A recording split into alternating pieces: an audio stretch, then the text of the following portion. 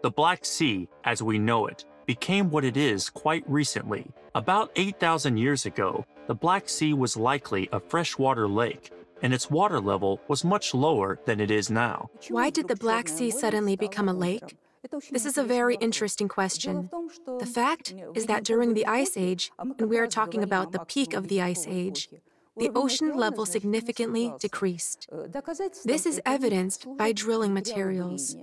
We conducted research on drilling materials in the Black Sea, and from the core samples of the wells, we saw that there was land on the shelf at that time.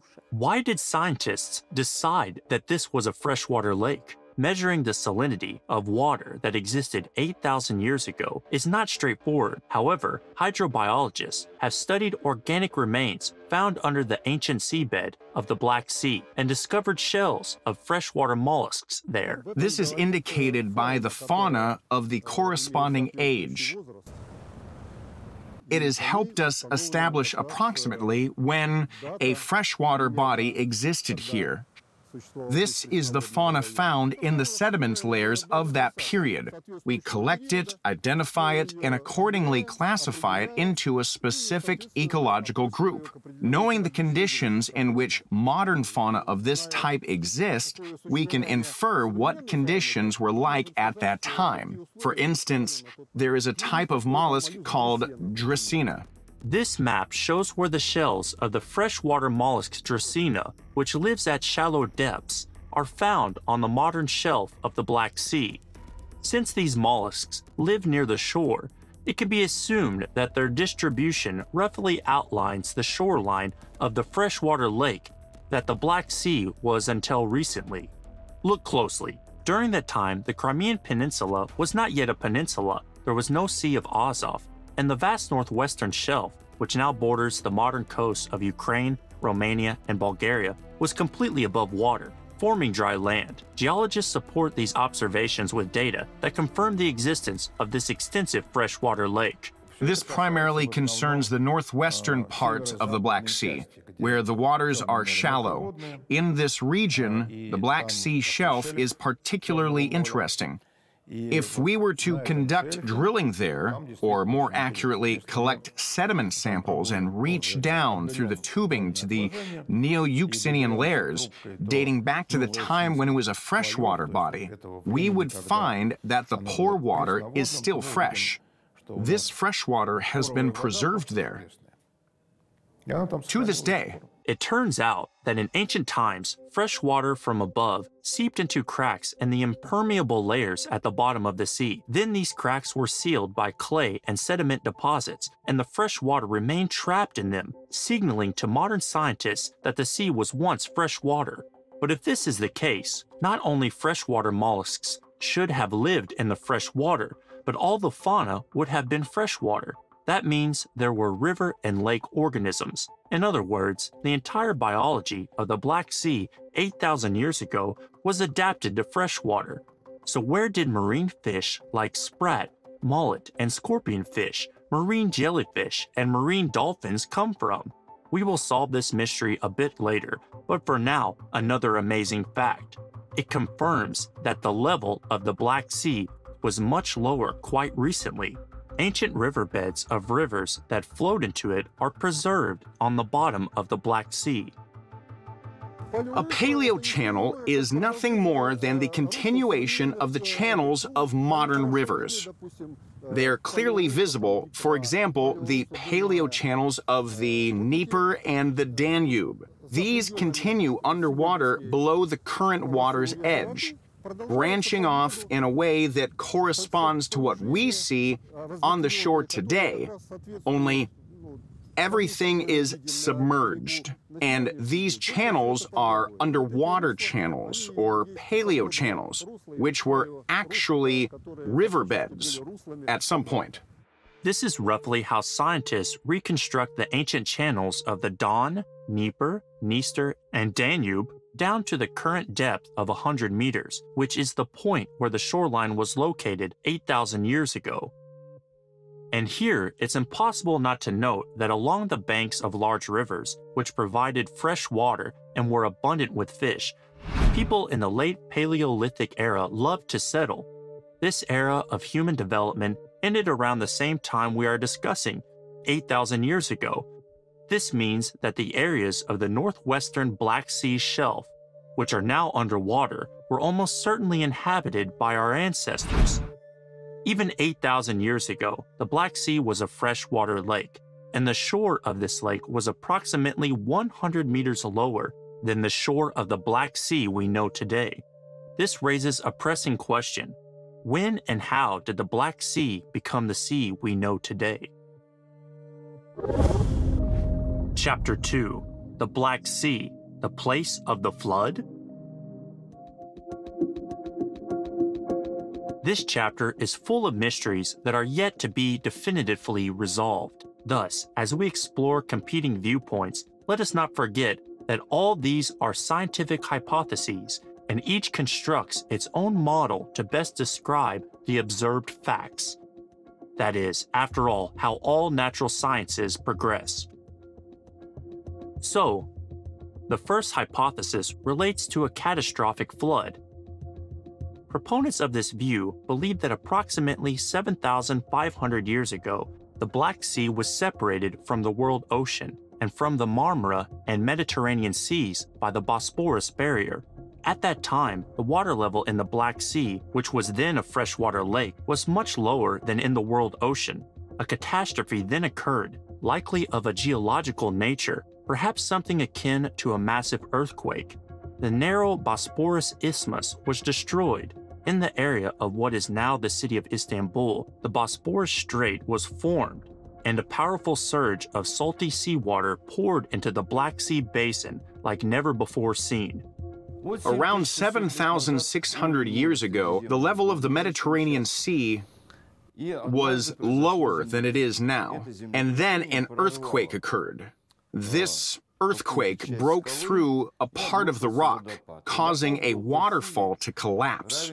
Now, the force of the waterfall was approximately equivalent to 200 Niagara Falls.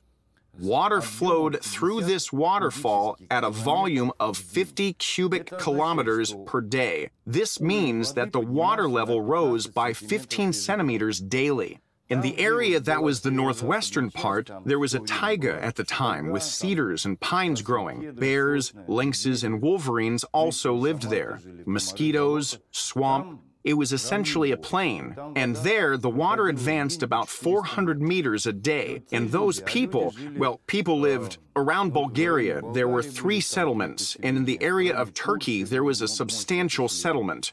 Now it's at a depth of 95 meters. All of this was quickly flooded, and people fled from there, leaving all of these structures behind. It's a truly chilling scenario indeed. If everything indeed occurred in this manner, then for the people who inhabited the current northwestern shelf of the Black Sea, it would have been a true biblical flood. Or perhaps this event was the very prototype for the biblical tale of the flood. This mystery remains ahead of us. For now, let us examine the research facts that can confirm this catastrophe, the scale of which is difficult to overestimate.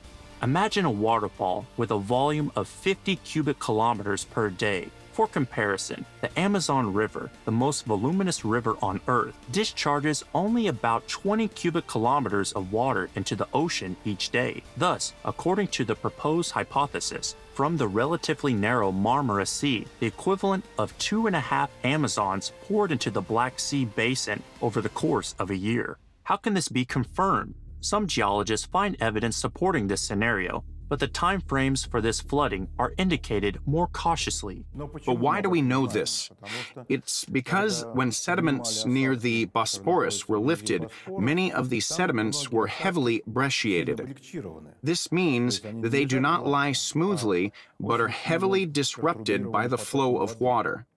We can see how this water flowed from this strait, and it was a catastrophic event. Indeed, there is debate over how quickly this happened. Estimates vary slightly. Some say it was indeed a catastrophic event that literally spanned just a few years, essentially within the memory of one generation. Others speak of a time frame stretching over thousands of years.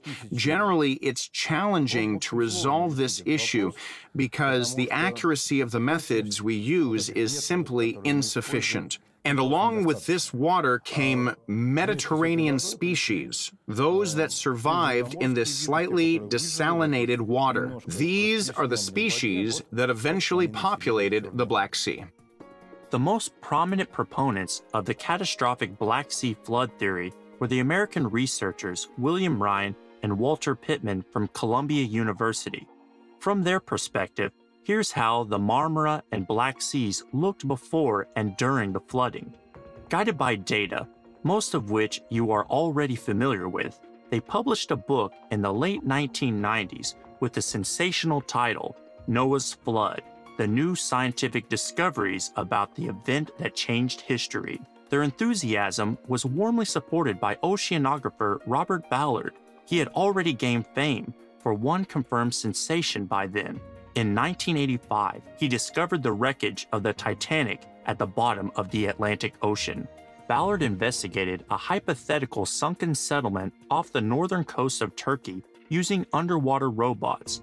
He found numerous artifacts indicating that people had lived on this seabed. However, there was no explicit confirmation that this occurred 7,500 years ago when the rise in water levels was catastrophically fast. Nevertheless, Ballard supported the flood theory in his publications. Since then, numerous submerged settlements have been discovered in the Black Sea Basin.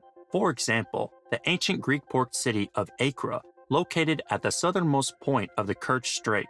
The Science TV channel produced a documentary about it titled Akra, the Crimean Atlantis. This city was abandoned by its inhabitants seemingly all of the sudden, with almost all domestic utensils left behind. However, all this cannot confirm the theory of the Crimean flood, as Akra was inhabited from the 6th century BCE to the 4th century CE. It appears that it went underwater as a result of local tectonic processes rather than a catastrophic wide scale flooding event. The second hypothesis suggests a gradual flooding First, it's important to remember that about 12,000 years ago, the last great ice age came to an end. During the glacial period, huge masses of water were concentrated on land as ice, which naturally meant that the overall level of the world ocean was significantly lower. Research materials from the Marmara Sea indicate that during the last ice age, the Marmara Sea was also a lake. This implies that there was no connection between the Marmara and the Mediterranean Sea. Consequently, there would have been no connection between the Marmara and the Black Sea either. But as the glaciers began to melt, their water started filling all available bodies of water. Naturally, the bodies of water with the largest drainage basins began to fill up the fastest. Among all the major bodies of water near the Black Sea, the Caspian Sea has the largest basin, even now covering over 3 million square kilometers. At the end of the last ice age, it was even more extensive. Since the Caspian Sea is a lake, its water balance and level depend on the components of the water balance. As the last ice age began to degrade, it meant the melting of the ice cap and a permafrost, which was located over a vast area on the Eastern European plain. With the degradation of the last glaciation, Caspian Sea significantly raised its level. Its level rose to plus 45 meters, whereas now the level is minus 28. When the Caspian Sea reached the threshold of the Manych spillway, it began to discharge its waters into the Black Sea. This formed the so called Khvalynian Strait, which connected the Caspian Sea with the Black Sea. The Caspian Sea dumped its excess water into the Black Sea basin. However, the level of the Black Sea could not rise sufficiently high because the Bosporus threshold is low. Because the Bosporus Strait existed, no matter how much the Black Sea raised its level, the waters were discharged into the Marmara Sea and then into the Mediterranean Sea.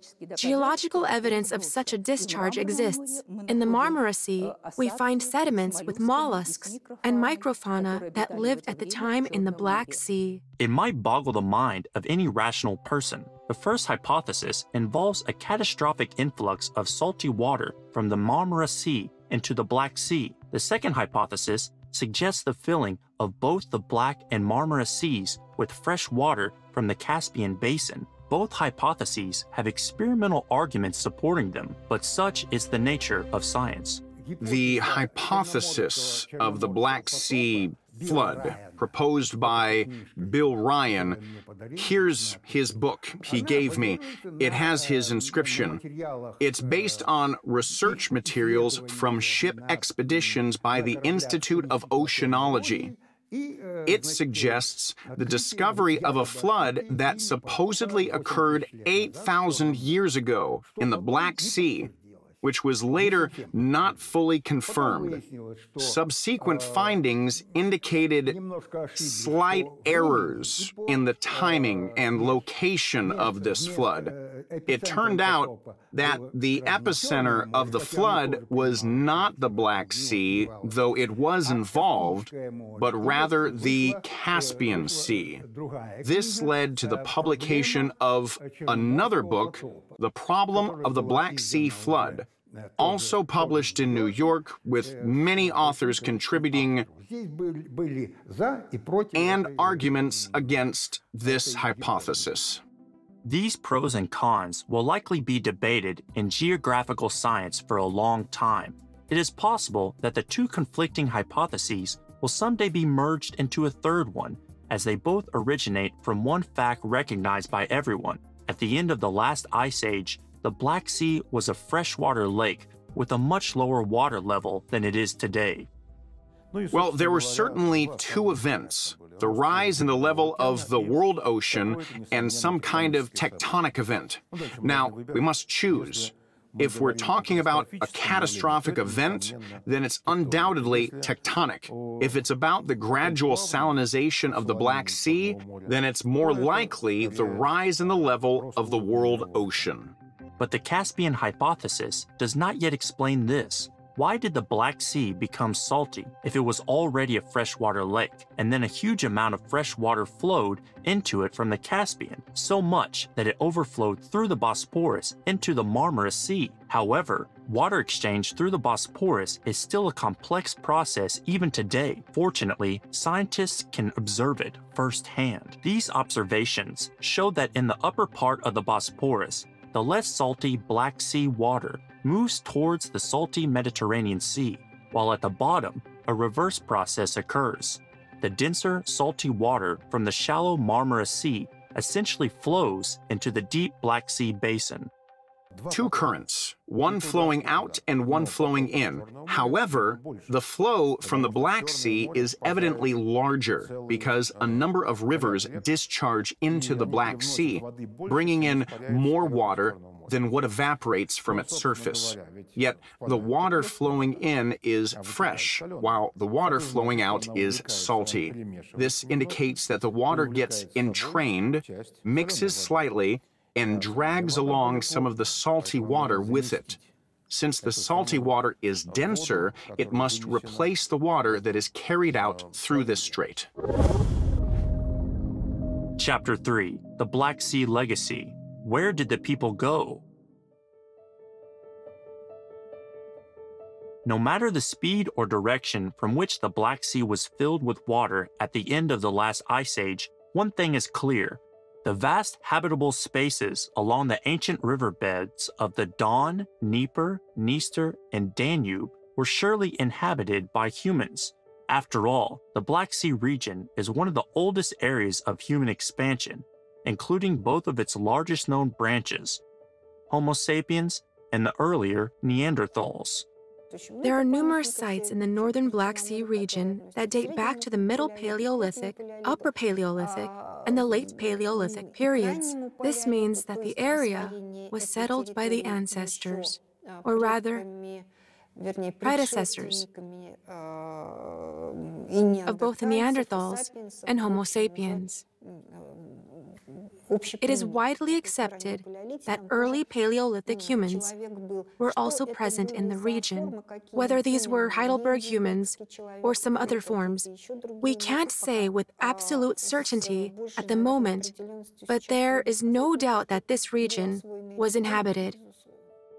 The transition between the Upper Paleolithic or Mesolithic and the early Neolithic coincides with the end of the last glacial period. This was slightly before the hypothetical Black Sea flood occurred. However, archaeologists are certain the glacier did not reach the Black Sea coast, and ancient humans found it comfortable to live both along the shores and along the riverbeds on what is now the submerged shelf. The beginning of the Holocene, a period very complex because, as you understand, this time was not characterized by not uniform, but rather fluctuating, glacial melting. And many territories ended up being sort of, well, rendered uninhabitable. However, in the northern Black Sea coast, especially in areas that are not lowlands, but rather with some elevations, populations either continued to exist or re emerged. This is exemplified by one of the very famous Mesolithic burial sites, the Murzak Koba monument, where, where a paired burial of a man and a woman was discovered. And the woman, a very young woman, showed very interesting traces of what was most likely ritual activity, because her phalanges of the little fingers had been amputated, and there was symbolic trepanation on her skull.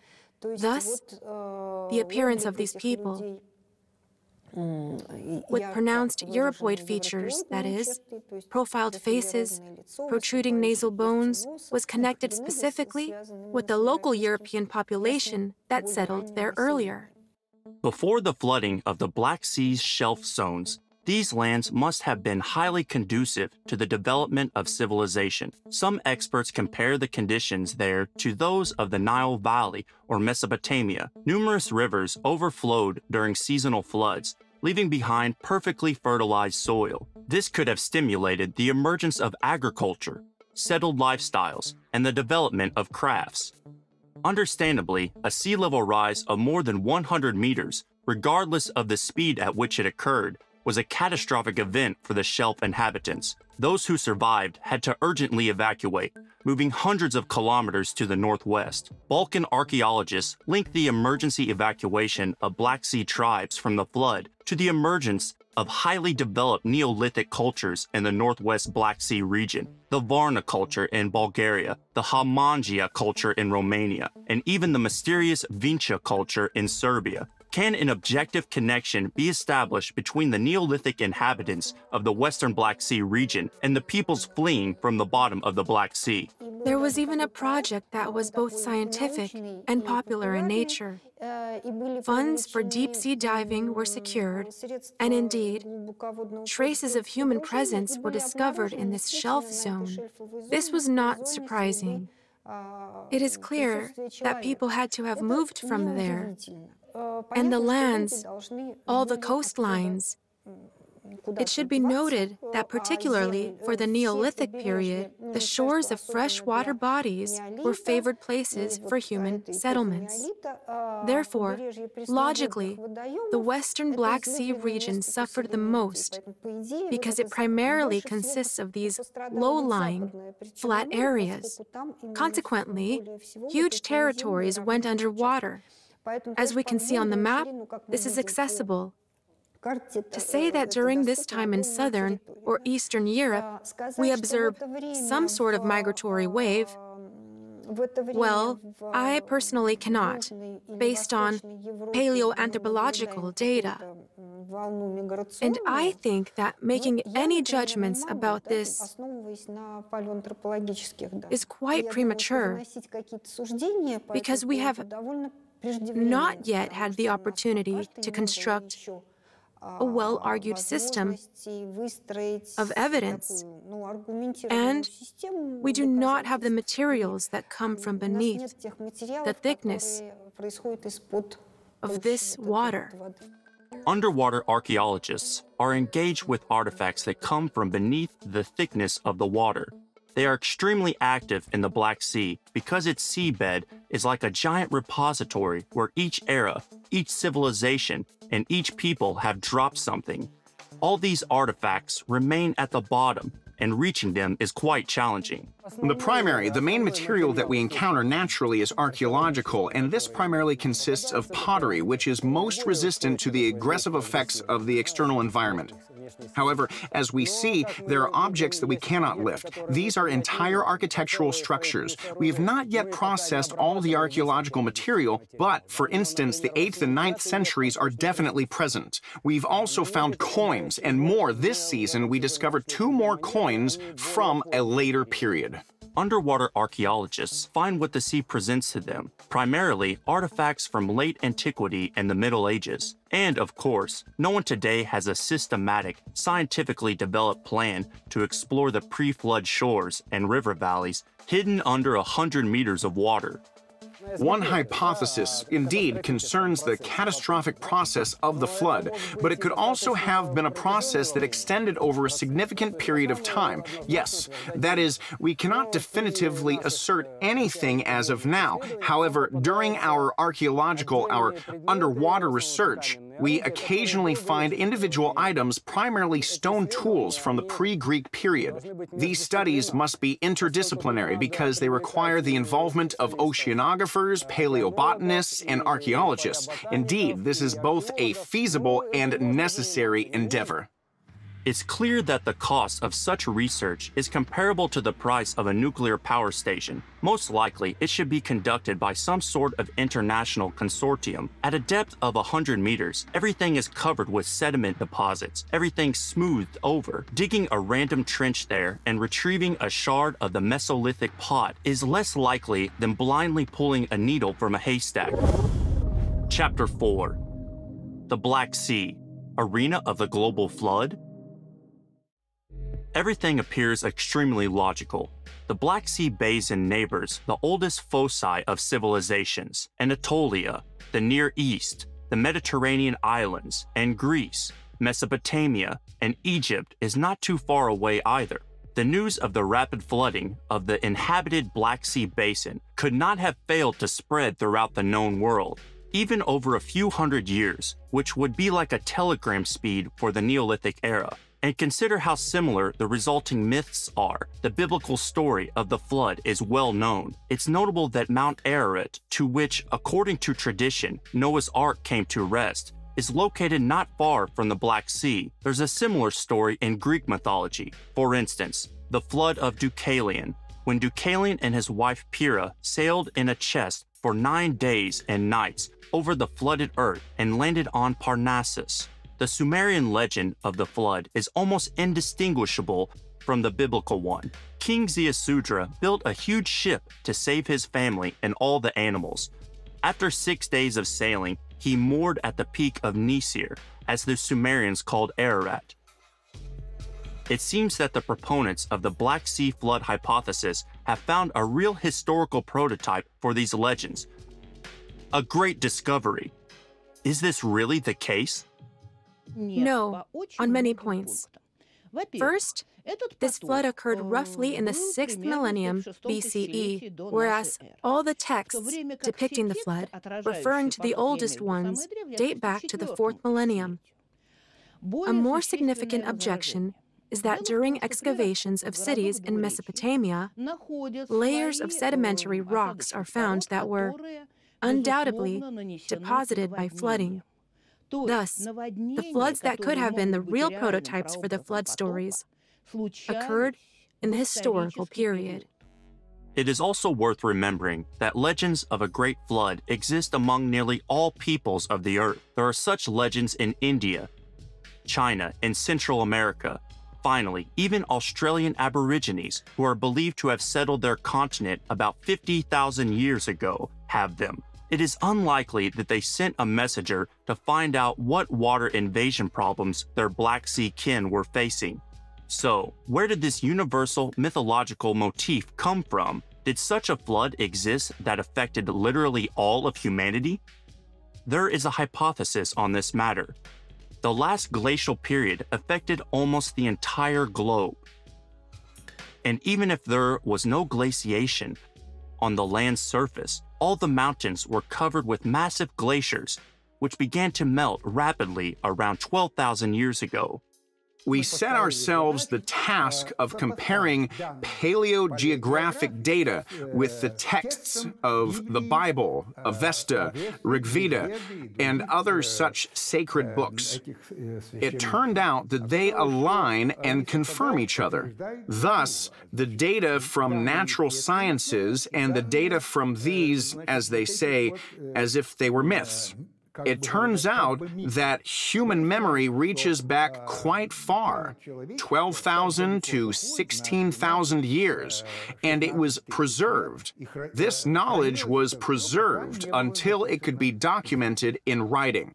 At that point, I proposed a hypothesis in which I did not use the term global flood as it seemed too abrupt, but rather era of extreme floodings. These floodings in total covered an area of 10 million square kilometers across northern Eurasia and had parallels in the Americas. Thus, the interim scientific conclusion is as follows. The Black Sea flood, regardless of the speed at which it occurred, was a late part of a genuine, almost global flood that covered the Earth at the end of the last glacial period. However, this does not conclude the unresolved mysteries of the Black Sea. Chapter 5 The Poisonous Sea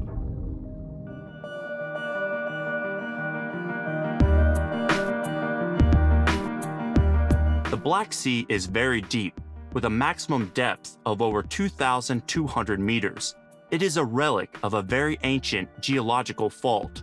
The Black Sea began to form approximately 125 to 100 million years ago, initially as a shelf basin. Then, around 180 million years ago, it suddenly deepened to depths of 2 kilometers. The formation of the Black Sea is linked to the movement of the Turkish microcontinent, which drifted about 200 kilometers away from Europe, creating a zone of extension. In this zone of extension, a deep water basin was formed. At depths below 150 meters, the Black Sea is practically dead dead. The entire water column is saturated with hydrogen sulfide, H2S, the gas that gives rotten eggs their unmistakable smell. In this sense, it is a truly unique, albeit dangerous, body of water because below 150 to 200 meters, it completely lacks oxygen. The Black Sea is the most unique and famous case. This is due to it being relatively small and very deep. There is even a scientific term for it euxinization, hydrogen sulfide contamination.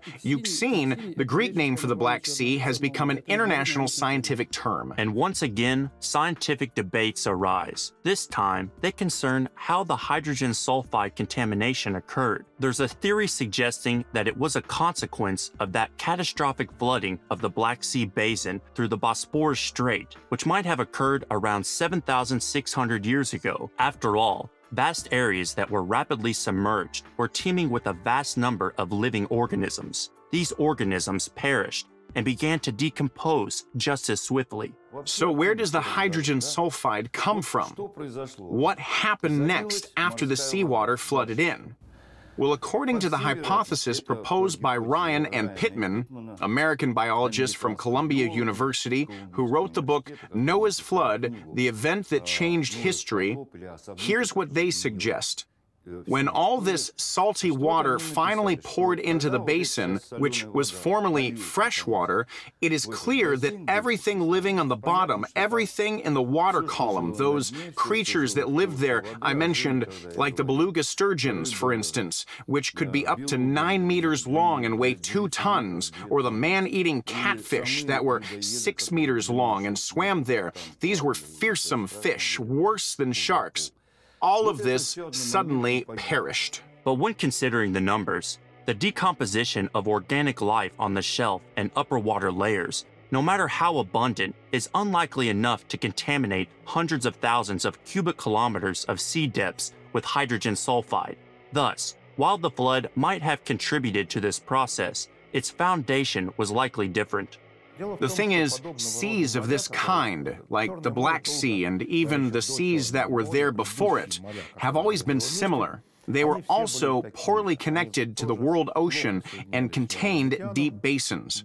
At times, or perhaps even constantly, there was hydrogen sulfide contamination in these seas. This would cause events when hydrogen sulfide reached the surface, resulting in die-offs. For instance, in the rock formations of the Maikop series, which represent a significantly earlier sea, we find layers that are simply packed with fish.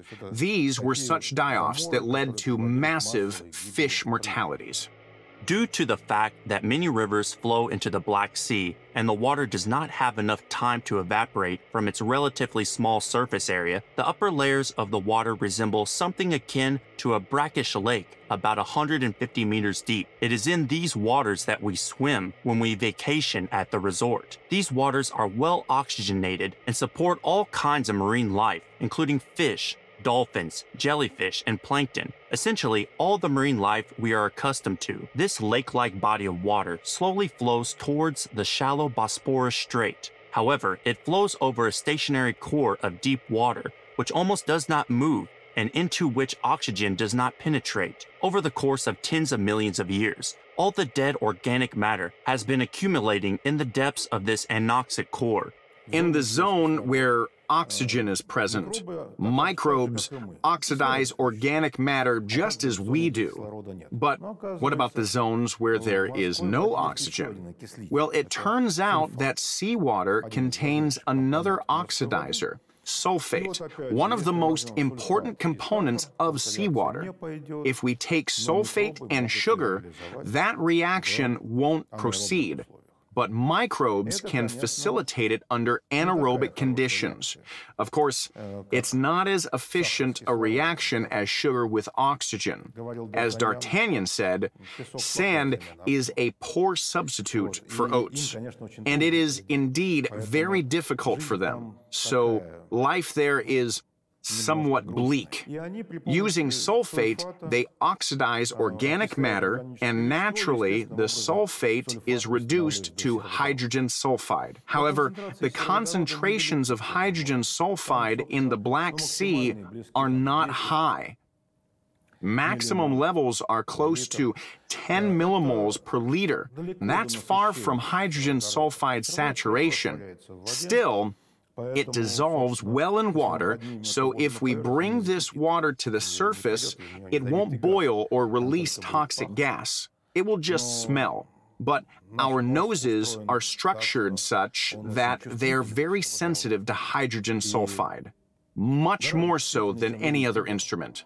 Due to the human nose's sensitivity to hydrogen sulfide, if its layer were to rise to the surface, the Black Sea resorts would cease to exist. No one would want to improve their health amid the pervasive, sharp smell of rotten eggs. Fortunately, about 150 meters of pleasant, lively, not very salty, and oxygen-rich water separates us from the hydrogen sulfide. However, there is a precedent. According to some witnesses of the Yalta earthquake in 1927, the sea burned with fire at night and an unbearable stench of rot emanated from the water. This means that when tectonic activity shook up this stratified cocktail, bubbles of hydrogen sulfide began to rise. But hydrogen sulfide almost does not burn. So, what was burning in the Black Sea on the night of September 11th to 12th, 1927? This has been determined. the Black Sea constantly releases methane from the seabed, the same gas that burns on our kitchen stoves. There's a map showing the distribution of methane gas emissions in the Black Sea. Part of this methane enters the atmosphere and contributes to the global greenhouse effect. Normally, this is not ecologically dangerous, but there are cases when this methane is very hazardous. Specifically, in 1927, during the Crimean earthquake in the area of Tottenkut and several other regions of the Black Sea, the sea itself was burning. It burned as a torch, up to 500 meters high. All of these events are documented. Incidentally, while we were researching the coast of Georgia, we found a very peculiar phenomenon in Ochamchire called a methane seep and published this work in the reports of the Academy of Sciences. Afterward, the Georgians approached us and said that in this place, before earthquakes, the sea burns, and they have considered it for millennia as a signal from the so called Ochamchire god. Thus, such occurrences exist. And so, there you have it. We have made estimates that a large influx of methane into the water can actually lead to the loss of buoyancy in ships. For example, the Bermuda Triangle is thought to experience methane releases. We calculated that if there are 30 liters of methane per cubic meter, the buoyancy of ships decreases.